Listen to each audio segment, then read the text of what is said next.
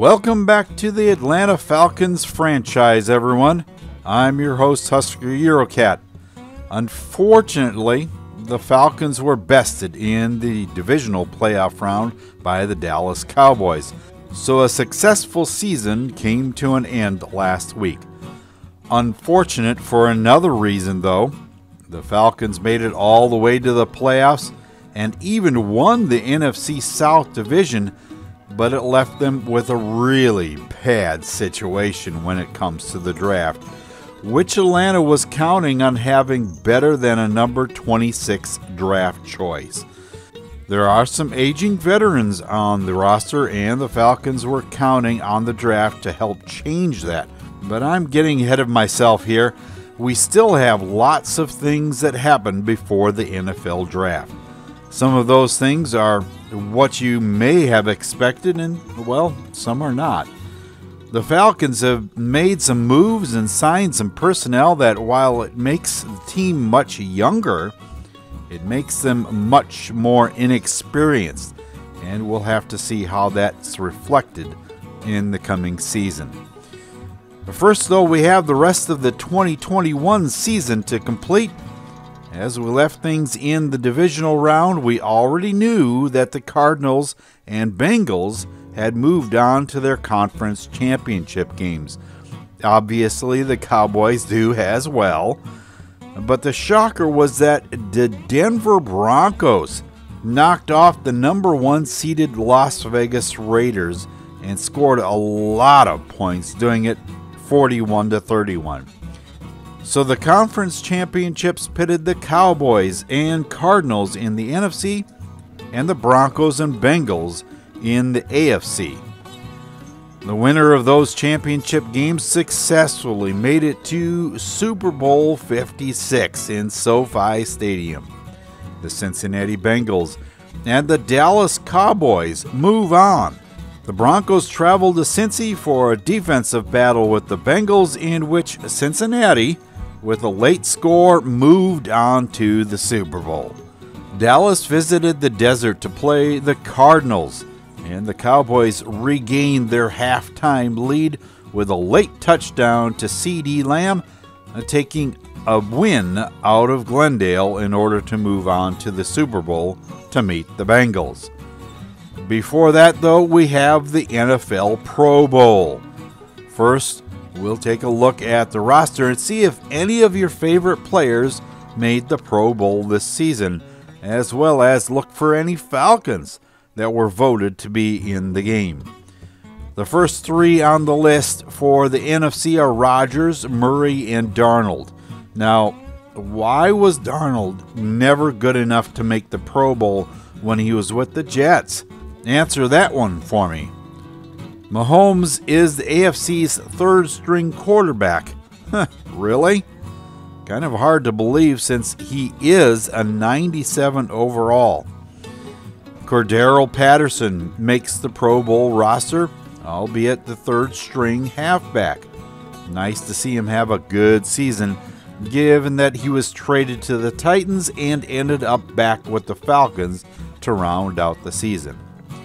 After 17 years in the NFL, Richie Incognito makes the AFC squad. Definitely the old man on the roster since Tom Brady didn't make the Pro Bowl this season. Another player from the Falcons to make the NFC side is right guard Chris Lindstrom. Now in his fourth year in the league, he had a great season for Atlanta. Both Nick and Joey Bosa make the Pro Bowl this year. A lot of talent in that family, kind of like the Watt brothers. Unfortunately, the only one that we've seen so far is JJ, eh, who gets the vote into this year's game. Von Miller and Chandler Jones are a testament to the fact that it's not just the kids that can play this game both in their 30s and each at the top of their game.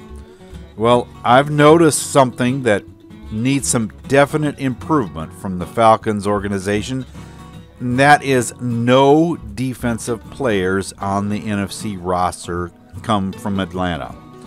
What a disappointment, and shows that some changes are needed on that side of the line for sure.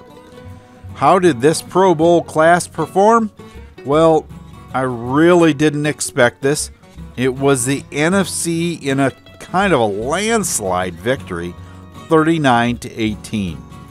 It was a pretty tight game until the fourth quarter when the NFC just took control and went on a 25 to 8 scoring spree.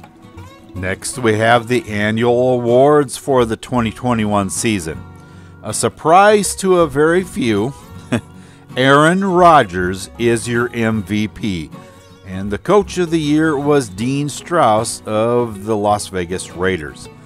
Getting in on the action was coach Turner Gill taking the number 7 spot in the voting the Outstanding Player Awards in the NFC, starting with Offensive Player of the Year. Aaron Rodgers, of course, leads the way, and Matt Ryan is voted in at the fifth spot. On the defensive side of the ball, the Rams are well represented as Von Miller and Aaron Donald take the first two spots. The rookies are next, and the Offensive Rookie of the Year was Justin Fields from the Bears, while an honorable mention goes to Kyle Pitts, that landed in at fourth place in the voting. As for the defense, left outside linebacker Azeez Ojulari took that honor in the NFC. Richie Grant, strong safety for the Falcons, takes spot number eight in the voting. Matt Ryan is the sixth quarterback, and Cordarrelle Patterson ends up in third place for best running back. In the wide receiver category, Russell Gage Jr. takes the number six spot, and we don't have another Falcon get any honors until Dante Fowler Jr. lands in the fourth place linebacker spot. Then to round out the NFC honors, Younghoe Koo takes the ninth spot in the kicking category.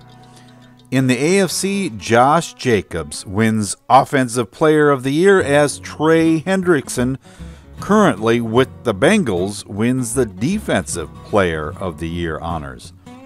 As for the rookies, in the AFC battle, Trevor Lawrence takes home the award for Offensive Rookie, and right end Kwity Paye out of Michigan locks down the Defensive Rookie of the Year. For the individual position honors, it's Herbert for quarterback and, of course, Josh Jacobs for running back. Ja'Marr Chase lost Rookie of the Year to Trevor Lawrence, but won in the Best Wide Receiver category. Richie Incognito shows up again as the best offensive lineman, and best D lineman also goes to our Defensive Player of the Year, Trey Hendrickson. Harold Landry III beats out Bradley Chubb for the best linebacker, and Bryce Callahan takes the honor for best defensive back. As the last honor, Chris Boswell takes the award for best kicker in the AFC. Well, now it's time for Super Bowl 56 between the Cincinnati Bengals and the Dallas Cowboys. And your winner was the Dallas Cowboys. It was a very competitive game, and although there were no turnovers, ultimately the Dallas ground game produced enough points in the fourth quarter to give the Cowboys a five point victory.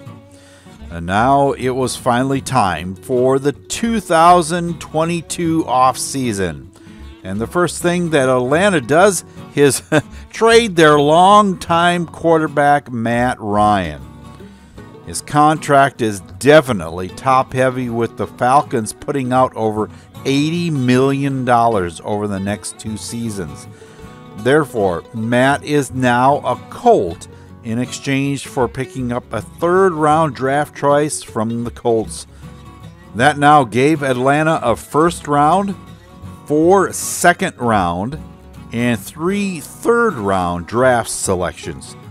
Still not the top 10 choice they were hoping for, but really a good top end group of selections. Now came the time for re signing players to new contracts. First up is Cordarrelle Patterson. While he is a superstar, the Falcons thought they could get him a little cheaper in the draft, so they offered a contract that he was most likely going to say no to, and he did, in fact, do that. So we'll have to wait for free agency to find out if they got him back on the roster or not. Next is Foye Oluokun, and he has a quite unconventional request. he was definitely bonus top heavy. The Falcons weren't willing to risk losing his talent, so they offered him just over $27 million for a four year contract, and he accepts to remain a Falcon. Next up was kicker Younghoe Koo. Now, Atlanta wasn't sure about giving him a new contract with what he wanted, so they offered him considerably less, and of course, he declined the offer in some pretty graphic terms. Duron Harmon although being 31 years old, was offered a contract just because it was Atlanta's hope that he would be a good depth player because one of their focuses was going to be in the safety positions and he decided to test free agency. Now came Russell Gage Jr. and being a finalist for receiver of the year, he was probably going to command really good bucks. Uh, so the Falcons offered him a five year, $25 million contract and got away with him accepting that offer. I would only assume that they had to feel pretty good about that negotiation. Tight end Hayden Hurst was next, and since he did such a good job as a backup to Kyle Pitts, even filling in for him during some injury time, Atlanta offered him just a touch over what he requested, and he accepted the offer.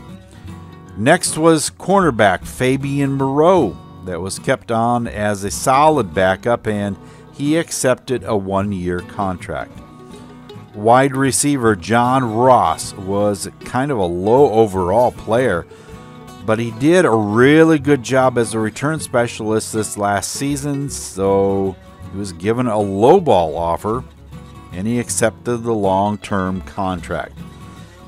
Another cornerback, Isaiah Oliver, that should be a good depth player, was offered a long term, inexpensive contract, and he accepted as well. 26 year old right end Derek Barnett was offered a three year contract since he would be a good depth player. And if the Falcons didn't get a better defensive end, he could be a starter if needed, and he accepted that offer.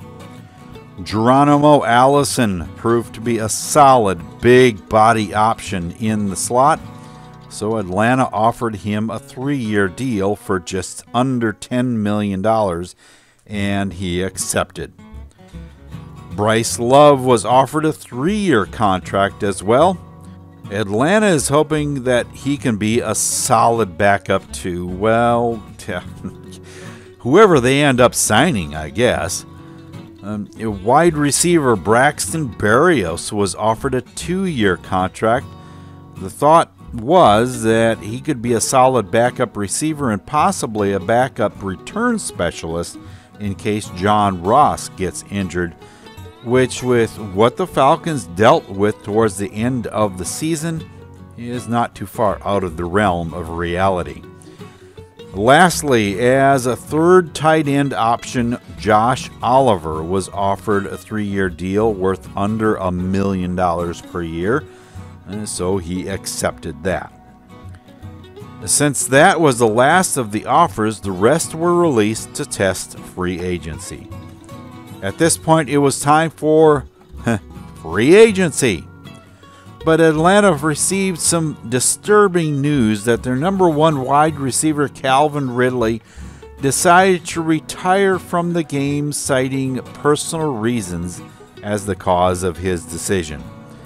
So that should put a premium on getting another veteran out of free agency.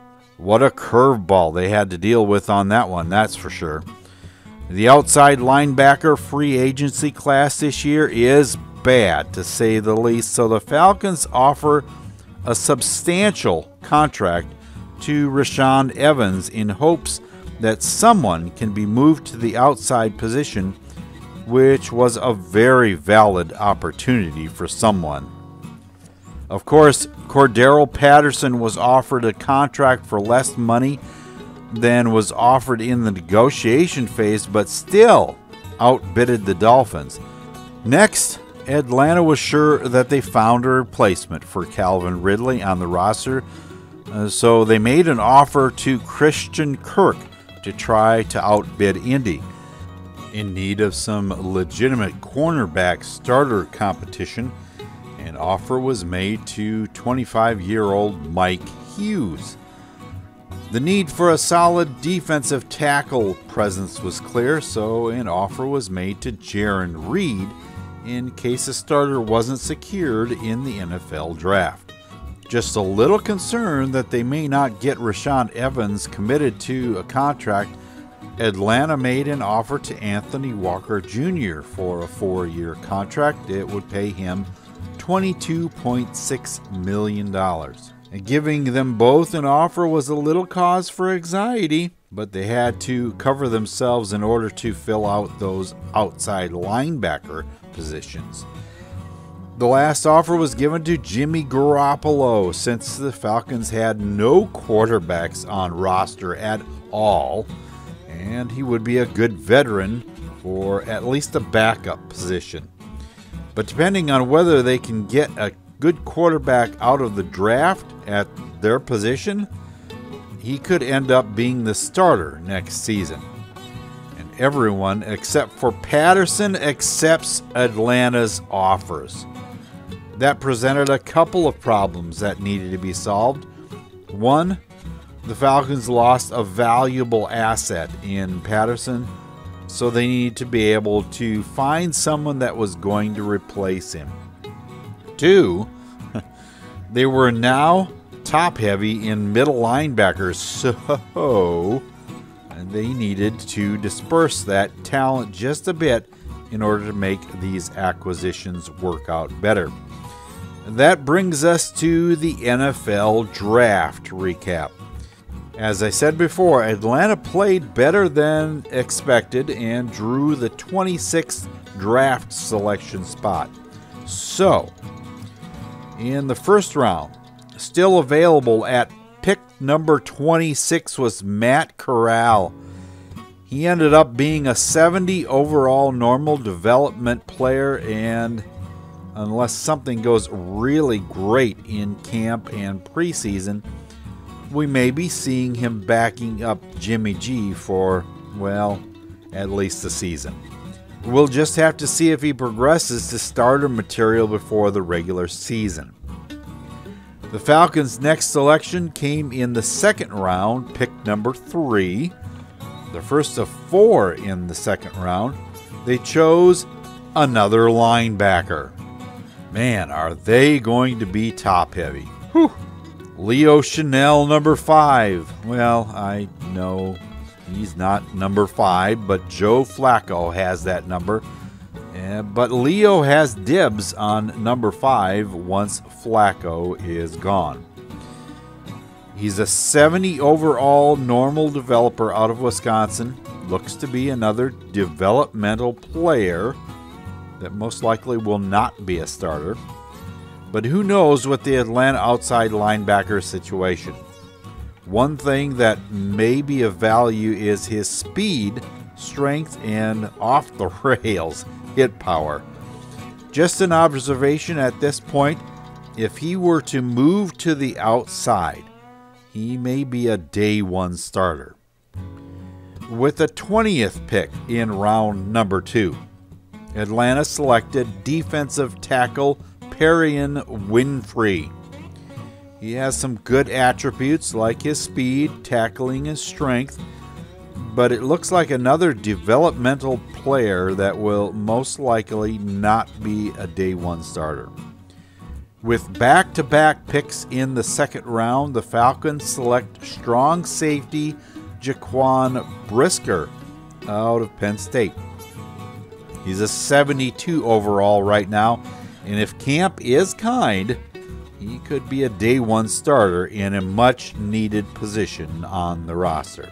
Finally, with Atlanta's fifth pick of the draft, they select a left outside linebacker at 69 overall, Nick Bonitto out of Oklahoma. He's a good rusher, and the Falcons desperately need a real good edge rusher, so that may be an option with him. At last, with their sixth draft pick, the Falcons get a rookie with hidden dev. So they'll be getting at least a star player. Left tackle out of Ohio State, Nicholas Petit Frere is selected. He has better than average lead and impact blocking attributes, but he may make a better pulling guard than a left tackle. But, well, that's what preseason is for. Atlanta now in the middle of the third round select right outside linebacker Troy Anderson and they get another speedy linebacker. Awareness and pursuit scores are good, but hit power is really good. At a 71 overall, he's listed as a run stopper, but with an 88 speed score, he could be used at least as a starting edge rusher. This could be a really interesting roster battle. Now, with their last pick overall in the third round, 20 pick number 26, Atlanta selects free safety Kerby Joseph out of Illinois. At 69 overall, I don't think that he would be able to rival Richie Grant for that spot, but who knows? I personally would be looking very closely since this could turn into a precision battle as well. And now that the draft is done, I've noticed something on the offensive side of the team. I thought that Atlanta would have drafted a halfback to fill Patterson's vacant spot, but as far as I've noticed, that hasn't happened. And of course, kicker and punter haven't been filled either. So those those are still needs. It would seem that the Falcons have more work to do before they can start preseason play. With that thought in mind, they start by seeing if they can trade for the rookie they missed out on that they really wanted to draft. James Cook drafted by the Commanders in the third round just before Atlanta could get to him. The Falcons traded away rookie Nick Bonitto and an undisclosed draft choice. yeah, undisclosed. And now he's on the Falcons roster. Atlanta also went UDFA fishing to try and fill their preseason roster, and they found halfback Jerry and Ely. and although not a hidden dev, see, he is a 73 overall halfback. He has some very good receiving back attributes, as well as the Falcons may have found the next return specialist. He'll give John Ross a little competition for the job, anyway. Now comes the rest of the UDFAs that Atlanta found and were ready for the preseason roster. James Cook improved by leap and bounds in camp and has progressed to an 85 overall. I'd say Atlanta got a much better deal with Cook and shouldn't really give missing out on Patterson a second thought. I mean, really, an 85 overall, and he is only a rookie. Even though the majority of the wide receivers progressed, Christian Kirk maintained his top receiver status. Kyle Pitts still tops the tight end position in both right guard Ezra Cleveland and center Matt Hennessy enjoyed major progression and are now on the first team O line. Defensive tackle Perrion Winfrey was hoped to progress in camp, but it just didn't pan out that way. With a reorganization in the linebacker crew and a real nice progression boost for Rashaan Evans, he's now an 88 overall left outside linebacker. The other linebackers definitely didn't get that kind of a boost, but the Falcons are in a much better place entering this season than last. When it came to the safeties, we got fooled a bit. Kerby Joseph progressed enough to overtake Richie Grant for the first string free safety, and although there was no progression, Jaquan Brisker still maintained the top strong safety spot. Atlanta will take this squad into this preseason schedule that draws them the Kansas City Chiefs as their first opponent. Good thing they have that game at home. Well, that's going to do it for this episode of the Atlanta Falcons franchise on the MMC Broadcasting Network. The Falcons made some big changes in this offseason, most notably the trade of Matt Ryan and seeing Calvin Ridley retire after only four years in the NFL. They definitely have a younger team, although there are some seasoned vets as well.